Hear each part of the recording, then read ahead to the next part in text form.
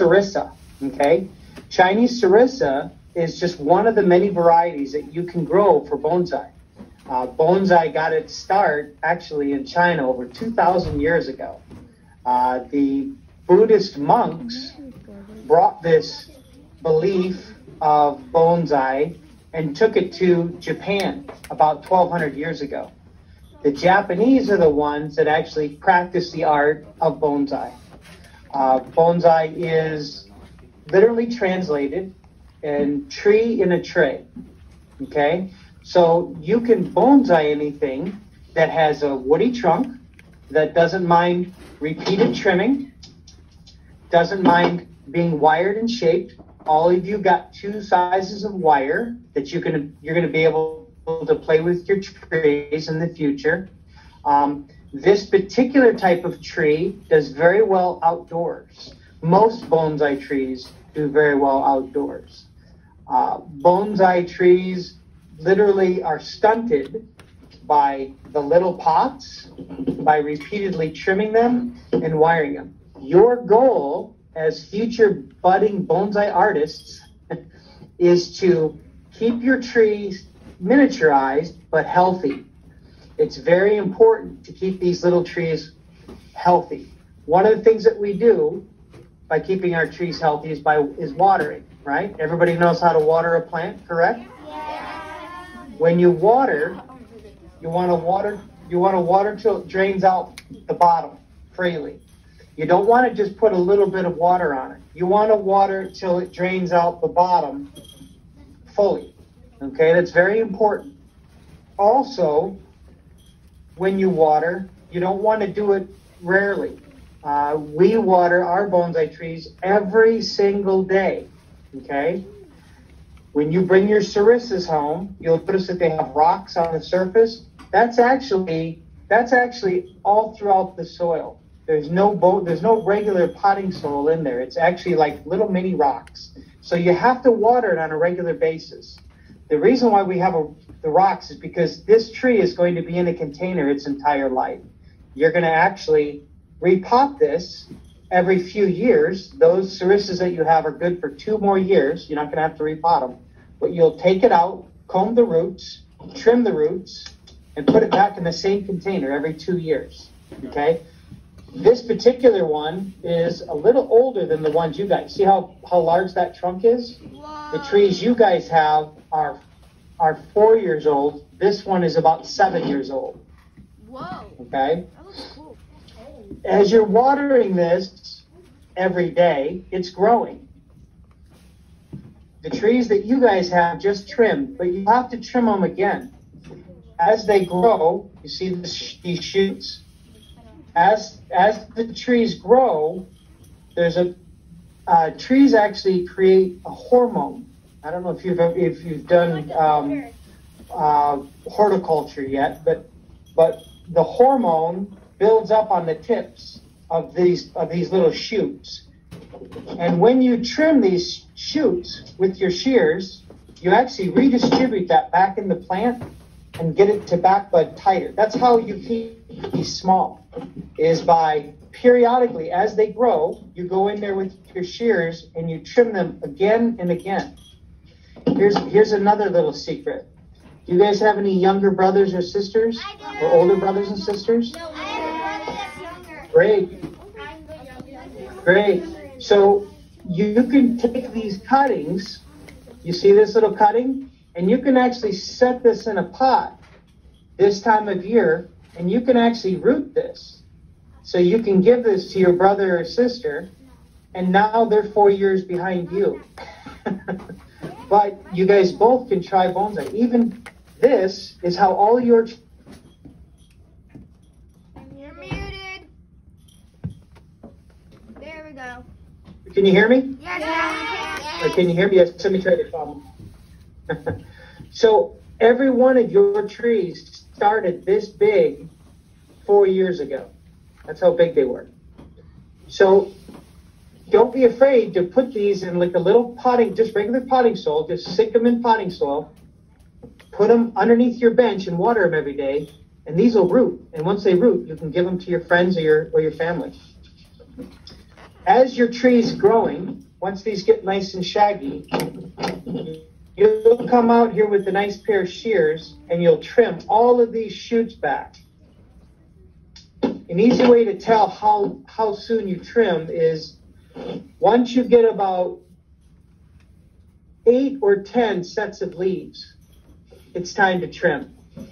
You don't have to trim if it has a nice canopy like yours has right now, but in another month, you guys are going to need to trim your trees.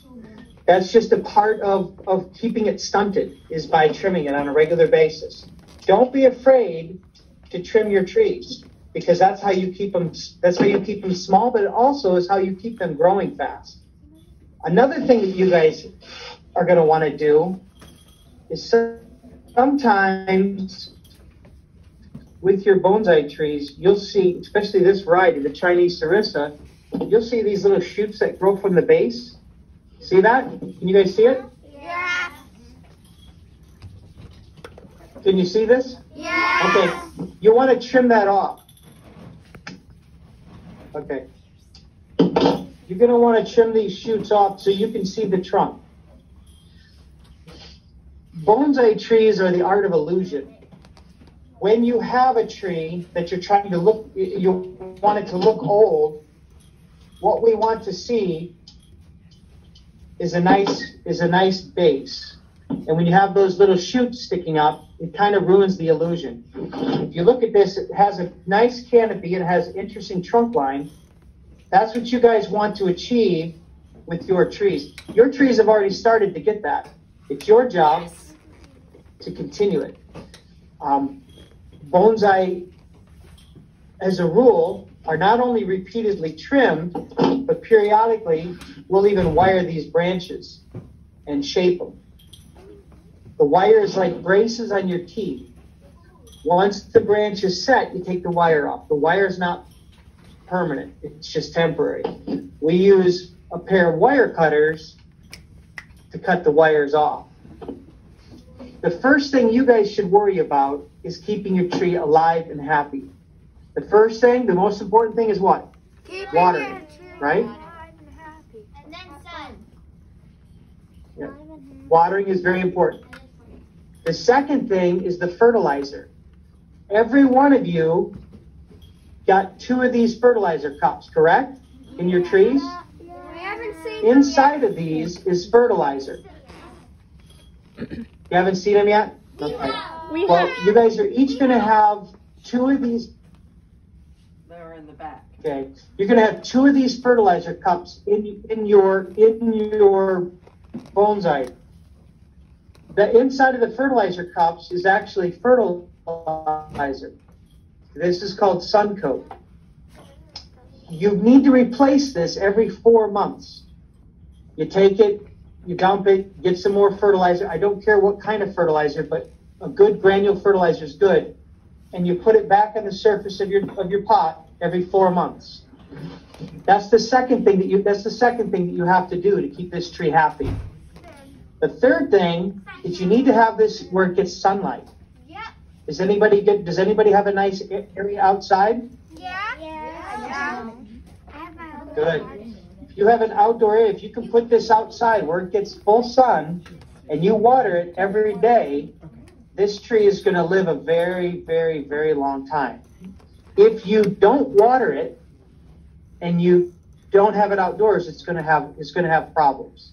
It's always important that you have it's always important that you that you give it the right water, right fertilizer, and right sunlight. Okay? Got it.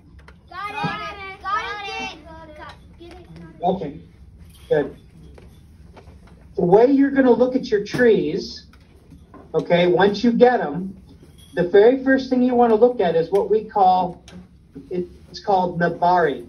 That's the Japanese word for the radial base on a bonsai tree. It's called nebari, okay?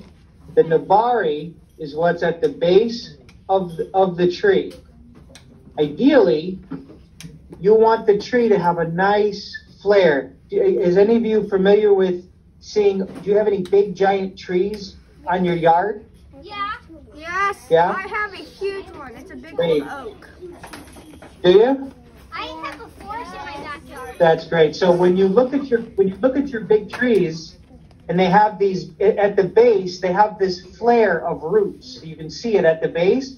That's what we try to recreate with our bonsai trees. Because remember, bonsai needs to look like a big tree in miniature. So one of the things that we try to do is have a really pretty base at the at, at the at the base. The second thing we need to do is make sure that we have an interesting trunk line. If you look, you can see that this has a nice trunk line from bottom all the way to the top. See that? And it has branches just like a real tree. You want your trees to have branches. You want them to have movement. You, can take that wire and you can shape it and you can give it some movement and make it look really old because bonsai trees that are really old are more visually interesting. People are excited to see your little budding bonsai tree. Okay? Does any of you have any questions? Yes, yes, Gideon, come here. Go, uh, yeah. Go ahead with the, uh, in the front there with the, Oh, oh. He had, he has a question black shirt? first. Oh, go ahead, Katie. Um, Stay here. Go ahead. Go ahead. Um, go ahead. how long does your tree live? If you water it every day and give it sun. Bonsai trees, I, I have some bonsai trees here at the shop that are over 150 years old. What? what? Longer than most people live. Oh, people. Yeah. US. Yeah, some, many, many, many bonsai trees, a properly taken care of bonsai tree will live longer than uh, the same type of tree in the wild. Because if a bonsai tree has a disease, we take care of it. If it needs water, we water it. So a properly cared bonsai lives a very long time. Yes, uh, next, Um, so I think- have, the young girl with the blue shirt. Uh, right here. Okay, go ahead. Go ahead. G- What Gideon. if you don't like if you're on a trip and you don't you can't water it? Get a friend too.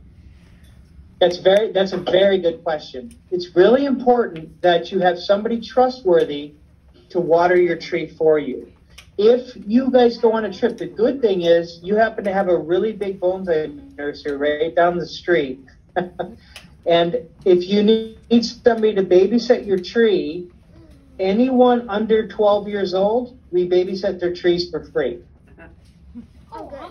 So you can bring your bonsai tree to us and we'll make sure we water it for you while you're gone. Okay.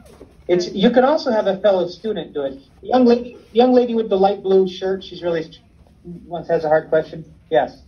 Hi. Um, what happens if it like rains too much, and then if it rains too much, will it affect the plant, and then it gets it all over the plant? Will it affect the plant? That, that's a very good question as well. If if you get a lot of rain with the bonsai tree, the whole purpose of us putting the bonsai tree in the rocks is any excess of water drains right through. So you don't have any problems with it getting too much rain because all the excess drains through. The one thing about if it does rain really heavy, you don't have to water that day because the rain takes care of it. But if if you get constant rain, you're going to get a lot of growth, and you're so you're going to have to trim the, the growth up pretty good. Uh, the young lady with the uh, sparkly shirt there in the back. Come just straight through here, quickly. Fast, fast, fast. In the red pants. She's coming.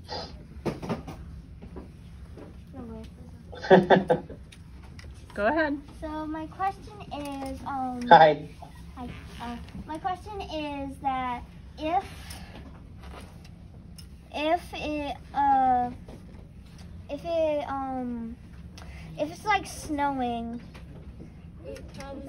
So, Is so it, is it gonna snow in Florida, no, Lily? sometimes when you go to a faraway place and it snows, sometimes.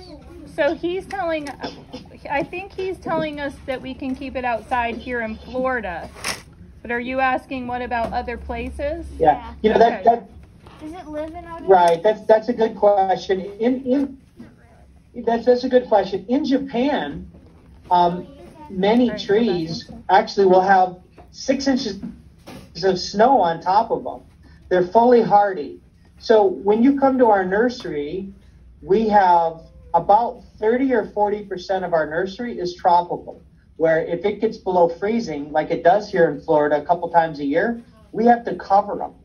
Up north, I teach I teach classes up up up north in Michigan twice a year. They have apple trees and pine trees that outside that they'll have a foot of snow on them right now, and they're fine. The trees are totally hardy and they're totally fine. Um, so that's a good question. If this particular tree, these serissas, if we do freeze here in Florida, you can leave these outside. They're good to about 20 degrees Fahrenheit. Uh, the young boy with the with the blue shirt. You have a question? Just stay right there. Okay. Um, if a tree gets a chemical on it, like bleach or something, will it uh will it automatically kill it, or is there a way to treat that? There's a way to treat it. I don't know. That's a good. That's a good question. If somebody, if, if you, a lot of times when people put their bonsai trees, they put them close to the house, and they'll have roofers that'll come and they'll put bleach on the roof. If bleach hits this tree or any strong chemical, it's really important for you to water it thoroughly. Get the water hose out, rinse it very well, water it thoroughly. Hopefully, the tree will will will, will live through it. If you don't wash it fast enough, you absolutely can kill a tree with bleach. Yes, but if you're if you take care of it, water it well, make sure you flush it really heavily with water. Let it drain out freely, and probably will recover. Bonsai trees, if you give them the, the the water, the fertilizer, and the sunlight, bonsai trees are actually pretty tough. They take a lot of abuse. Um, Ryder? right there with the green shirt with her hand raised really high. Can't see who it is, kind of thing. And then Ryder come over. He's coming. If you, if you have to put it in a, Okay, sure, that's fine. if you have to put it in a bigger pot, do you have to get rocks or just soil?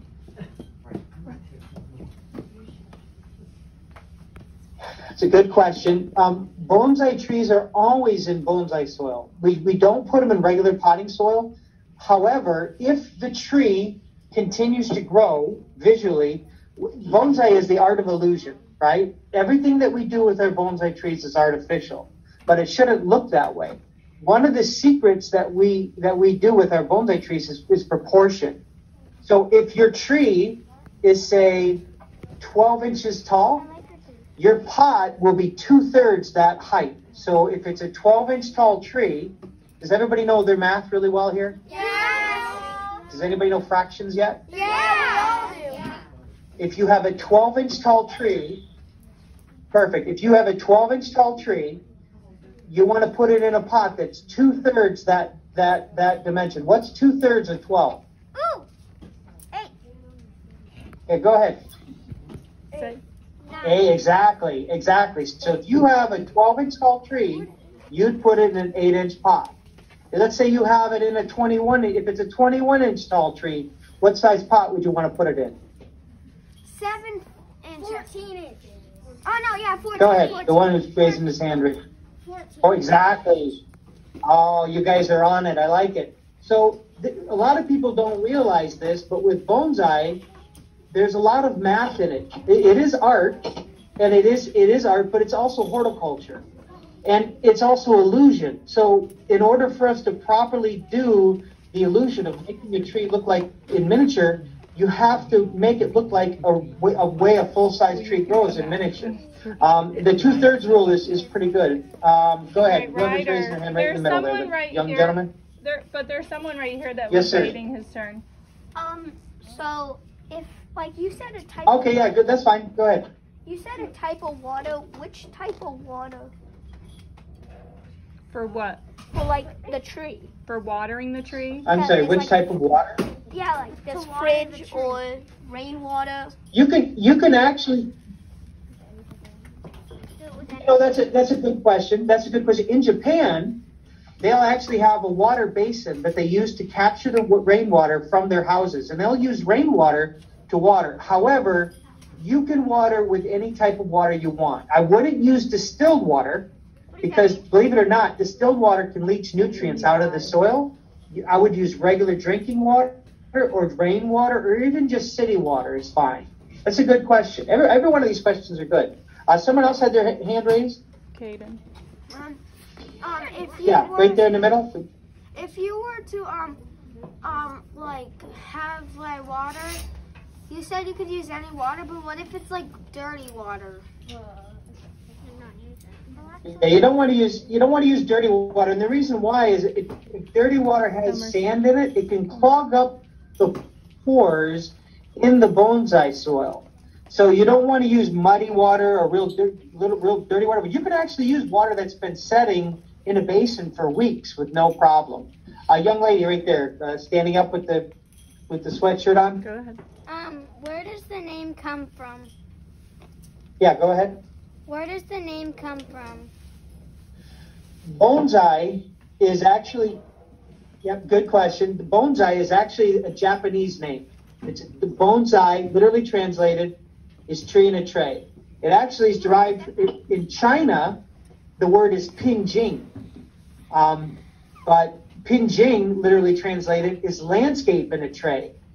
You guys ever see the quote unquote bonsai trees at a box store where they'll have like little figurines glued and they'll have glued gravel and they'll have like little huts or little little fishermen on the on the bonsai tree. Has any of you ever seen that yet? Yeah. Yeah. No, that's actually you have okay. So that that's actually a, the Chinese um, influence. That's more Penjing. Bonsai, we really want to focus on this the tree uh, specifically. We don't want to focus on the figurines. We, we we usually will put the figurines off to the side as an accent to the bonsai tree. Do you have a you have a question right there standing up? I do, I do. I wanted to ask. Where Yes, ma'am. Yes. Go How, are you? Thank you for coming here. Um, or not coming, but anyway, on the screen. Do you, where did No you get, problem. yeah, where'd you get the 150 year, the 150 year bonsai tree? You said there were some at your place that were 150 years. That's a good question. Good question. Yes, yes. So, so that's a really good question. Bonsai really has only been practiced in the United States for about 70 years. Right after World War II, when the GIs were coming back from Japan, they were really enthralled with this. Um, after when J- Japan was recovering from the war, they figured out that there was a there was uh, a, a, a, a, a desire again for bonsai. So actually, we started getting some Japanese um, Americans starting to create bonsai uh, nurseries here in the United States in the 40s and 50s. So the art of bonsai hasn't been around for very long. So we obviously we wouldn't have a lot of trees that are really that old here. However, many bonsai trees are collected. And when we go out into the swamps, or in Colorado, we'll go into the mountains, or in uh, Michigan, we'll go out into the swamps, or here in Florida, we'll go out into the swamps, or we'll go down to the Keys. You can find some ancient material that you can collect for bonsai. Um, they, in Japan, they actually collect these thousand year old junipers in the mountains. They're, they're like in a little crack or crevice that they would actually risk life and limb and collect these thousand year old plants for bonsai. So the first age is the age of the wood. I have some bald cypresses that are 40 to 50 years old that we just collected two weeks ago. So they haven't been in training for bonsai for 40 or 50 years. They've only been in training for six months. But the wood is old. I have a buttonwood here that actually is over 150 years old. It's an ancient buttonwood with a lot of deadwood, and it's amazing. But it's only been in training for about 40 years. Can But it, the wood is over 150 years old. can you tell them how do you know? Uh, yes, there's a. You have your hand up. This is Miss Diedrichs. I'm just I'm just sorry? wondering, can you tell us how do you know the age of the tree? How do you know it? The rings. So that, that's a good question. There's a there's a few ways you can tell the age of the tree. Um, one is if you collect the tree and you cut the tree and it's a deciduous tree, which means it loses its leaves in the winter, it has distinct rings every year. So when you cut the tree, and a lot of times it'll be a 20 foot tall tree, we'll cut it down to you know four, three to four feet. You can actually count the rings to see exactly how old that tree is. Now that, that doesn't work with tropical trees as well because a tropical ficus will start and stop growing two, three, four times a year. So the ring method doesn't work very good on tropical trees down here in Florida, but for deciduous trees, it works very well. It's really easy to tell, you know, how old a tree is specifically. Another way you can tell how old it is is if it's been documented. If that person has owned that tree over the years and can, can show you pictures and photographic evidence of when it was collected, that's another easy way to dictate how old they are. I can tell you exactly how old these serissas are that everyone got today because I planted them four years ago. so I can tell you exactly how old they are. That is something you want to be careful of. Um, however, just like la- asking a lady her age, you know, they always say you shouldn't ask a lady her age, it's rude. Um, bonsai trees are more of what does that age look like? I want the tree to look older than it is actually, because when I'm walking out into the gardens and I see a beautiful 300, 400 year old tree, that's the tree that I'll stop and I'll stare at and I'll look at and I'll be enthralled with and I'll meditate under. It won't be the 20 year old tree, even though they're both trees. You can you can certainly do that, but with bonsai, we want someone to stop and be enthralled with it by giving it that illusion of age. That's where the wiring comes in, making the branches appear much more aged and and and and, uh, and contorted. By the way, we, we have over 15,000 trees here in the nursery, all different ages and sizes and developments. Um, so if any of you come out, it's a shame we had this COVID. We could have done something like this. You know, we could have done a field trip out here. Um, you can see different ages and, and, and how you work it. Some of the branches we can only ramify once a year. So if you have 10 years of ramification, it's very easy to say this tree's been styled for 10 years. Someone has their hand up in the back there behind the uh, plastic. While he's coming, I'm going to just tell you, I will post for my students um, your location so their parents could bring them by to see. Did you hear? Sure. Okay. Sure. Five nine. That'd be great. Well, that answers Go my ahead. question. Oh, that was his question, actually. Can you tell us where you are? Oh, yeah, sure. So we're actually right down the street from, from your guys' school. Um, I, I've been in business for 17 and a half years. Uh, I've been doing bonsai for 29 years. Um, I bought this property 10 years ago, February 11th. Um, we are, our address is 2745 Audubon Avenue, right by the Highland Park Fish Camp. We have 12 acres here. Um, I moved here 10 years ago and it's, I mean, we have a beautiful three acre botanical garden that you can walk through. We have a 95,000 gallon koi pond that you can come see the fish. If you come with your, with your, uh, with your parents, I'll feed the fish while you're here. You can see the fish. Um, and we have over 15,000 bonsai trees that you can take a look at. Wow. It's, you know, it's just fun. Stuff, fun stuff to do. Micah? Yes, you have your hand up in the front there? Do you have to Sorry, you've had your hand up a long time. I apologize. do you have to water it every day or can it be like every two days? So that's a, that's a good question. Right now, because of all of the heat, we're starting to have it like 75, 80 degrees. I suggest that you would water every day. If it gets cooler in the winter, like when it gets below 60 degrees for the day, you can get away with watering every other day, no problem.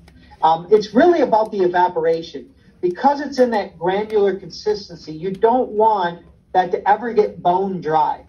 It can get pretty dry, but you don't want it bone dry. If you're concerned about watering and you're not sure about it, you can take a toothpick and you can sink the toothpick. You can sink the toothpick inside of the pot. You can sink a toothpick inside of the pot and then pull that toothpick out and feel it.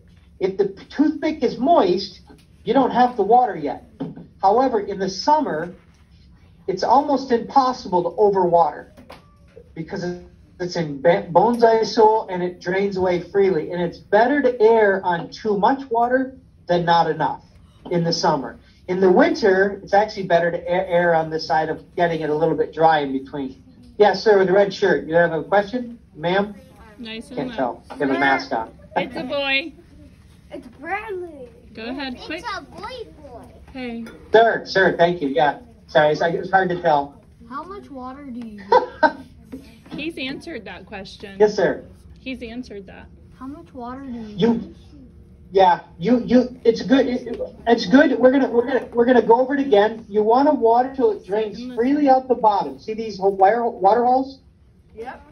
You really wanna water till it drains freely out. You don't wanna just give it a little bit of water. So when, if you bring this outside and you have a hose, don't be afraid to water. If you come to the shop, I'll show you, I'll show you how to water specifically. Um, if we had done this outside, I could have showed you, but it was, it's, it's, it's too hard on the Zoom. Well, we really, Does any of you have any other questions? Somebody has their hand up right there in the back? Kyla, just stand right there and say it nice and loud. Um, if if I were planting it, could I like plant plant it in soil and still have it? Use, they said I needed it to be in a pot still. That's a great question. That's a, that, that's a great question. Bonsai, bonsai literally translated is tree in a tray. So if it's in the ground, it's not a bonsai tree. The Japanese actually had very small yards. They would be very small pieces of property. Um, and they would take these trees and have them in their back six by nine back, backyard space to kind of get them in touch with nature. They would have them in a little container so they could have their little piece of nature. Okay, I, I don't know if your uh, teachers talked about wabi sabi yet, but but bonsai has the philosophy of sabi, of appreciating everything that's ephemeral. Everything everything turns to dust, right? Trees grow and age and die, but there's a beauty in, in that journey that start from a seed to an ancient tree. There's that whole journey in between. So to be able to be a part of that and to be able to, to see that and, and, and, and, and help develop it as a budding bonsai artist that you guys are all going to be, that's, that's a real blessing. It's real fun to do that. It's really, it's, it's, it's, it's really educational and it's, you know, enriching. I think we'll take Yes. one more question. You have Okay, a question? Go ahead. Um, what is your favorite? Uh, Okay, sorry. What is your favorite tree out of them all? Like bonsai tree. That's a really good. It's a really good question. Every one of these questions were great. So, bonsai changes throughout the years. It, it, this time of year, my favorite bonsai is an azalea. In another month, my favorite bonsai will be the serissa because all of these, by the way, all your serissas will have these beautiful flowers all over the place in another month. It'll be spectacular. You guys are going to love your serissas in a month. It's gonna be. It's gonna. They smell nice. They're awesome, but they'll look green the, the rest the other ten months. So bonsai trees all all shine at different times of the year. So every month I have a favorite tree. Um, they'll they actually display their trees. It's called a tokonoma display in Japan. They'll display their tree throughout the year. They'll have it outside growing, and then they bring it inside for one or two days just to display it when it's really beautiful and then they take it back out and then they do it again with a different tree and that's their artwork they have a living tree artwork on their wall you know specifically to show off One last question. Go ahead. Um, I have a sister in this class, and um, should I label my trees so then we know which trees which? Because if it grows like almost the same, would it we be able? We're to gonna tell? label all the trees so that you all know which tree is which.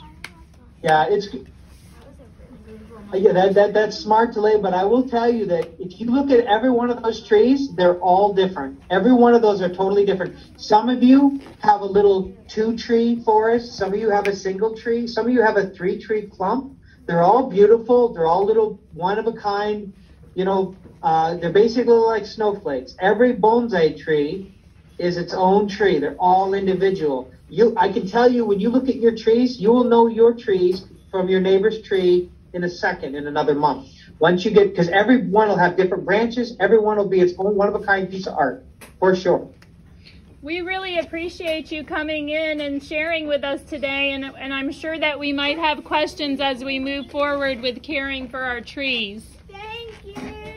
Thank you. Thank you. Thank you. All right. no problem thanks for having me i appreciate it Have a great day. bye guys Bye. Yep. You don't know that. Good luck on your, good luck on your bonsai journey. Thank you. Bye. Thank you very much.